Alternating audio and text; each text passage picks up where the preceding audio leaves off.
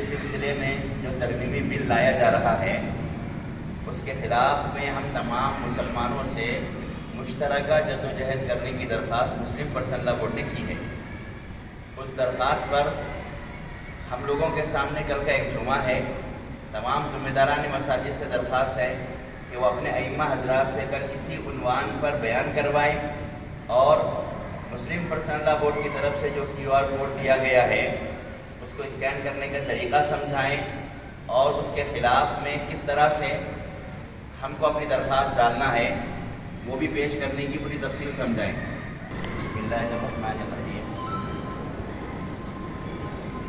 ادھر کی مختلف تنظیمیں، تنظیم دوڑو اللہ کی طرف Bidar betterment foundation. Jama Masjid committee عیدگاہ کمیٹی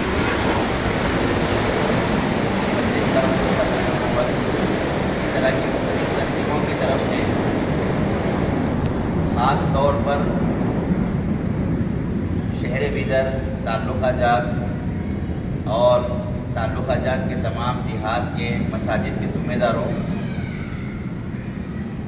سے یہ درخواست کی جاتی ہے کہ ملک میں وقت کے سلسلے میں جو ترمیمی بل لایا جا رہا ہے، اس کے خلاف میں ہم تمام مسلمانوں سے مشترکہ جد و جہد کرنے کی درخواست مسلم پرسن لا بورڈ نے کی ہے۔ اس درخواست پر ہم لوگوں کے سامنے کل کا ایک جمعہ ہے۔ تمام ذمہ داران مساجد سے درخواست ہے کہ وہ اپنے ائمہ حضرات سے کل اسی عنوان پر بیان کروائیں اور مسلم پرسنل لا بورڈ کی طرف سے جو کیو آر کوڈ دیا گیا ہے، اس کو اسکین کرنے کا طریقہ سمجھائیں اور اس کے خلاف میں کس طرح سے ہم کو اپنی درخواست ڈالنا ہے، وہ بھی پیش کرنے کی پوری تفصیل سمجھائیں۔ اسی سلسلے میں تمام تنظیموں کے ذمہ داروں نے کل ایک پروگرام طے کیا ہے۔ انشاءاللہ وہ پروگرام شہر بیدر کی جامع مسجد کے اندر منعقد کیا جائے گا جمعہ کی نماز کے موقع پر۔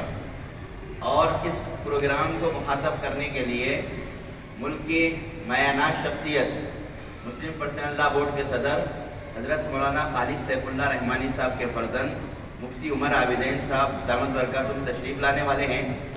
انشاءاللہ حضرت کا تفصیلی خطاب ہوگا۔ وہ یہ سمجھائیں گے کہ اس وقت بورڈ سی کے ترمیمی قانون سے مسلمانوں کے وقت جائیداد کو کیا نقصان ہوگا؟ مساجد کو، درگاہوں کو اور قبرستانوں کو۔ اس کے علاوہ اور جتنے وقت جائیداد ہیں، ان کو کیا نقصان ہونے والا ہے؟ حضرت تفصیل سے سمجھائیں گے۔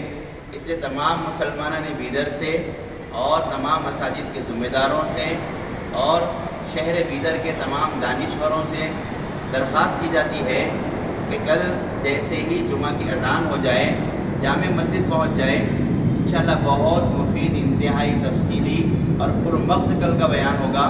اس لیے آپ حضرات سے گزارش ہے کہ وقت سے پہلے جامع مسجد پہنچ جائیں اور کوشش یہ کریں کہ اپنے ساتھ وہ تمام لوگ جو اس میں فکر مند ہیں، کوشش کر رہے ہیں، وہ تمام کل جمعہ کی نماز جامع مسجد بیدر میں ادا کریں۔ انشاءاللہ حضرت کا خطاب ہوگا۔ اور بیدر بیٹرمنٹ فاؤنڈیشن کی طرف سے کیو آر کوڈ کے بورڈز لگائے جائیں گے۔ اور نوجوانوں کو اور دوسرے اور کارکنان کو اس کام کے لیے مقرر کیا گیا ہے۔ وہ گھر گھر بھی پہنچیں گے۔ مرد حضرات کو بھی یہ کام کرنا ہے، خواتین کو بھی یہ کام کرنا ہے۔ تاکہ سارے ہندوستان کے مسلمان اس کے خلاف میں آواز لگائیں گے تو حکومت کو مجبور ہو کر یہ بل پارلیمنٹ سے نکال دینا پڑے گا۔ آپ تمام احباب سے گزارش ہے کہ ضرور بھی ضرور شرکت فرمائیں۔